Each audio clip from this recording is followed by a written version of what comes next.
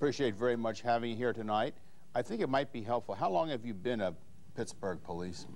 I'm in my 23rd year in serving as on the Pittsburgh Police And how long as head of the FOP? I'm in my 12th year, my sixth consecutive term in serving. In I know you saw the background tape as we did, and you heard our conversation. I think Eileen has the first question. I wondered, you know, based on your experience and, and your many long years, what leads policemen to react in a violent fashion in crowd situations like that? Well, I question saying they acted violent in this situation, but first planning and readiness for any type of affair is necessary when you have a large gathering of people. And in the case of the civic arena, there was mismanagement. What, kind, what kind of planning and readiness are you talking about? What would have been more appropriate? Well, I think more police officers at the scene, uh, meeting with the civic arena officials to make sure those people who had tickets got in quicker and faster, not just have three entrances for people when you're talking 17,000 people. Open up the civic arena a lot earlier for these shows, these concerts, a half hour before showtime, makes it very hard in law enforcement on the outside of Civic Arena to separate those people who do not have tickets to get into an affair that was sold out. Now what happens when the show starts, the people hear the music inside and then you have a clash for the doors. And that's a problem that Civic Arena must look into, and it could help in matters like this when you have a, a concert that's sold out and there's no, no tickets around for the public to buy. Um, on the tape, we could see that you were one of the officers who was leading the young man into the van when the policeman with the motorcycle helmet struck him. Um, and I believe you're being investigated. Their police administrators are asking why you did not uh, write up the man for or cite him. Uh, could you tell us why you didn't? Well, let me say uh, no police administrator has asked me that question, and nobody has come to me in any way, shape, or form over this matter. I think that the individual uh, uh, was being put into the wagon, he resisted with the officer on the right. It happened quick, uh, and it seems that the city went ahead and started talking to trial board in this matter before any investigation was conducted. I think the record has to be put straight. Every incident doesn't require trial board action. They can suspend, but it seems they want to talk trial board before they did any investigation in this matter. And when I was talking to the chief of police on one talk show, uh, the Morning Post Gazette had the officer already charged, and the chief didn't know it. So there is problems within the Department of Public Safety in handling the investigative matters when the public thinks there's been some type of uh, excessive force used by police officers. And they have to sit down and, and investigate the problems right before they start talking about charging and trying to build this again towards a trial board like the trial board's not working in the city of Pittsburgh. Many officers have faced suspensions in this city of Pittsburgh and have taken them without a trial board. But they blew this out of proportion. What happened at the Civic Arena, I think a further investigation will show uh, that it didn't require all Let the... me ask you something, though, before, before we get talking more about the trial board. One thing that sort of intrigues me, now, obviously I wasn't there, I was just watching, but it seemed to me that what this guy was, he said something. And, and I wondered, you know, is it, do you have any sense that, that, that people, policemen, just naturally react when somebody sort of mouths off? I think, John, in this case, uh, this officer has been charged, but I think when the day of the testimony comes, which I must protect that now because of subpoena right. actions, you will see it may be more than verbal confrontation when the evidence comes out in this matter. That is, it's something that, be, that was not visible uh, in the pictures. Is that's, that right? That's correct. But but let me just ask you a question. I mean, I can tell you from personal experience, we get, I mean, over in my 12 years here in town, the kind of things that would seem to me to occur where policemen seem to get in trouble or seem to overreact is not some real violent, you know, big fist fight or something, but it's basically when somebody, they think somebody's being smart to them, talking back to them. And, and do, you, do you have any sense that that's true? Well, you hear some complaints at times, you know, reading your letter sent into the uh, Post-Gazette, the editorial page. And John, those cases there can be corrected through sensitivity training in the police academy, if they exist. And you have to have that type of training continuously. I think we're all humans, and when there's confrontation, I see many people when they're traveling in traffic and giving one another the fingers for a bumper or cutting one another. So we all have a reaction like that. But a law enforcement officer, a little more is expected of him to control himself emotionally. And training helps you. Uh, And even if you have training, sometimes you still can't control the situation. Is there but any working training together. like that Yeah. Is it, in, and is it ongoing? Yes, they're starting to training. Uh, we're starting to move uh, through the Training Act that was pushed by the Fraternal Order of Police in Harrisburg. We want more in-service training to bring our people and show them the reactions, show them liability factors they can face for this type of conduct. And as you know, in, in, there was many shootings in years gone by in police departments, and we have trained our officers. Keep training them when to shoot and when not to shoot. And training does it. But we can't have people acting in the capacity of public safety and want to blame everything on a trial board. But good, strong training, progressive training, continuous training can avert a lot of this type of uh, conduct we hear of people complaining for small arrests. Disorderly conduct seems to be where the confrontation comes in. Not the felony arrests, but the little stop traffic stops on the street. this and training. It's sensitive training, I call it, and certainly, I welcome that all times. And that, that, that is needed in the police department. We need more type of training like that. We do it now for things like ethnic intimidation. We have moved in that direction. And I think the training of police officers have come a long way in the fa- past few years compared to they were back in the 50s and the Is, 60s. is this sensitivity training going to be something that you take at the academy when you're a cadet, or is it going to be uh, something that they give you as a, a refresher course every from time to Both. There's time? two classifications. There's the recruit training, which takes four to five months. We just extended that training through state law. And the other training I'm referring to would be called in-service training. Police officers already passed the recruit stage and passed their probationary period. Every year or every two years, just to keep you refreshed and what you can face in the street, the suddenness, the attacks, how to handle them, just like you protect yourself if there's guns involved. And I think we need more of that sensitivity training in dealing with these issues and handling to give us a better public relations with the people in the street. Back to the trial board and the discipline problem, if, if I may touch on that. And this, uh, I know you're under subpoena because of the trial board incident, and uh, but generally you're a lieutenant and you're in a supervisory position out on the street. You're also the president of the union.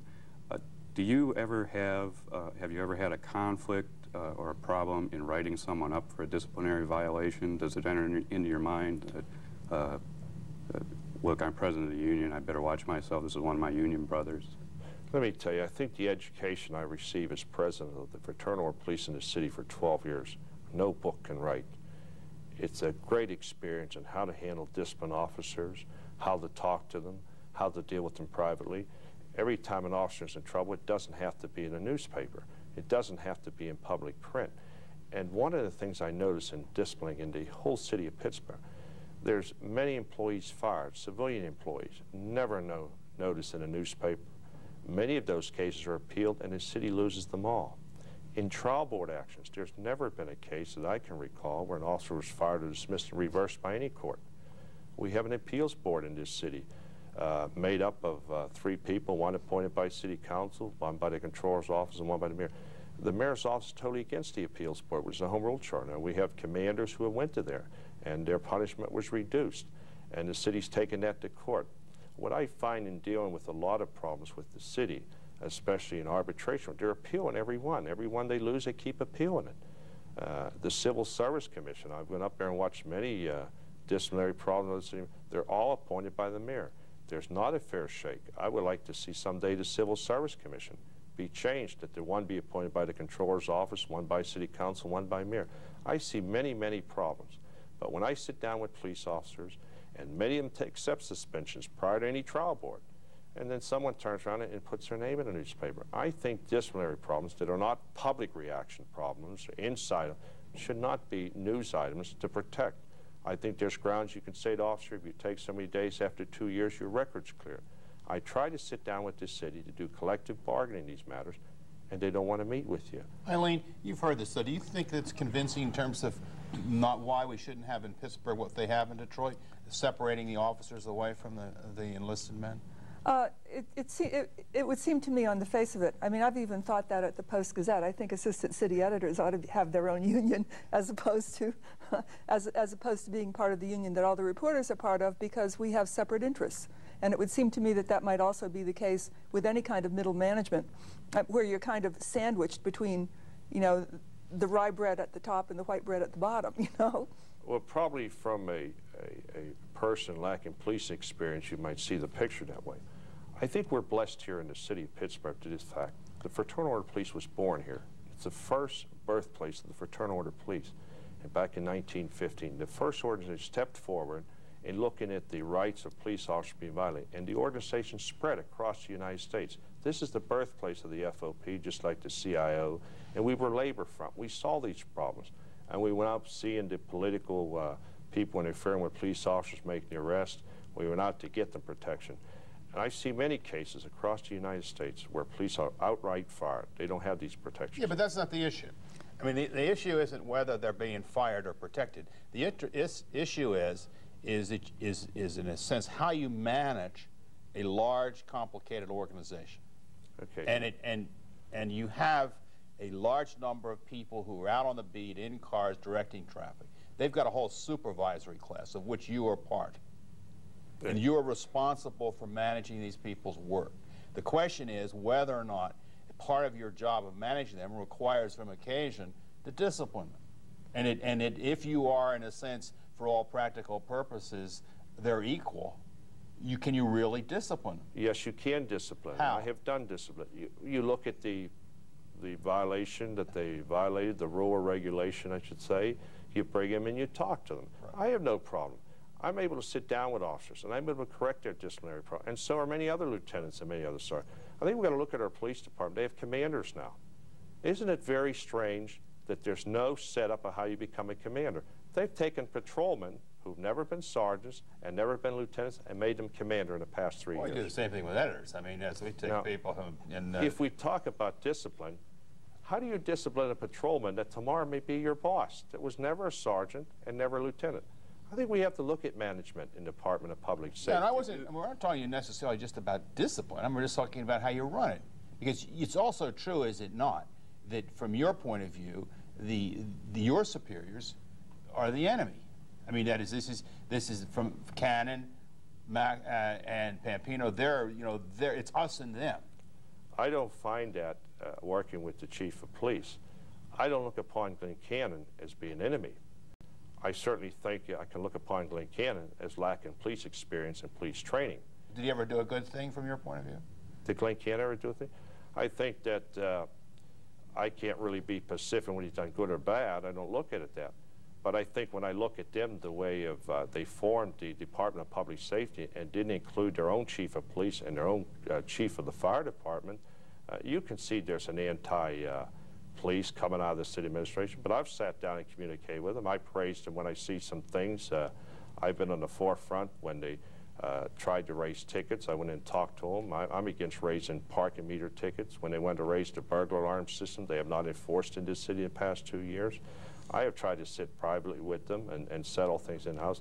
And there's many things I've settled. Uh, police officers having problems or uh, getting off on retirement that I've done much in-house with them. What I find in the last three years is the communication on disciplinary problems is not being done. But the focus of the public safety director is try to throw everything to a trial board. I even have cases where the chief of police recommended a reprimand. The assistant chief reprimand, a reprimand. He overturned both of them and said, trial board, or I want five days. Uh, this is the type of problem that's going on inside the public. Six people are deciding a disciplinary problem against a police officer. If the sergeant says two days, by the time it goes up to chain of command, they're playing with it eight days, ten days. That's telling sergeant lieutenant don't no longer discipline. They're overriding what you're trying to do when you're dealing with these officers. Public Safety Department is three years old, as you say, and it's a mayoral election year, and some of the candidates are talking about perhaps getting rid of it. What would you like to uh, get rid of the Public Safety Department, or do you think you can work with it? I think it can, you can always have a Department of Public Safety. And you can have a public safety director or coordinator if you have big, high types of events, explosion or something like needs a coordination factor. I think what we've had the Department of Public Safety, they formed another branch in there also, administrative branch, taking records away from the police chief. He doesn't have his own crime statistics. I tried to get crime statistics for 1987. They finally come out with the book after many uh, months of talking to them, asking for it, the public asking for it. Uh, we don't need a department administration. You need the police, the fire, and the medics being run by their department head and dealing with a public safety. Not that other step between a deputy director, administration branch. This sounds like a, a civilian police problem, the way you're putting it. Well, I think anybody, everybody's starting to reckon. I think you hear all the candidates just about running for mayor seriously looking of that reorganization of the Public Safety Department. Yeah, but in the federal government, Pat, we have a civilian commander of the military, which sometimes has a police function, and you know, and, and in the city, I mean, that's part of part of what our Constitution has been like in, in our federal Constitution, and certainly our, our state Constitution. I think would mandate that you would want to have a civilian head of of of, of public safety of the police, and and what I'm wondering is you know, does it really make sense that, that the law governing discipline of police in Pittsburgh is made by legislators in Elk, Adams, and Juniata County? I mean, doesn't that, in a sense, make of the police department, doesn't it give it a hint of something almost like an occupying force? I think we're all members of the Commonwealth, and the legislature not only make the, the law for the trial board, they make many, many other laws. That's what we vote for them. And I think that's the right, because we may not only be the second-class city we are today, we could very well become a second-class A city with the next census report. So you, what this trial board is not just Pittsburgh, it's really defined for the second-class city, just like other uh, townships have their set up, boroughs and townships, uh, third-class cities. Uh, the legislators looked at this, they saw the treatment of police officers, and they continue are going to look at it from the city going up there, and I will tell you there'll be plenty of evidence to show the trial board works in this city.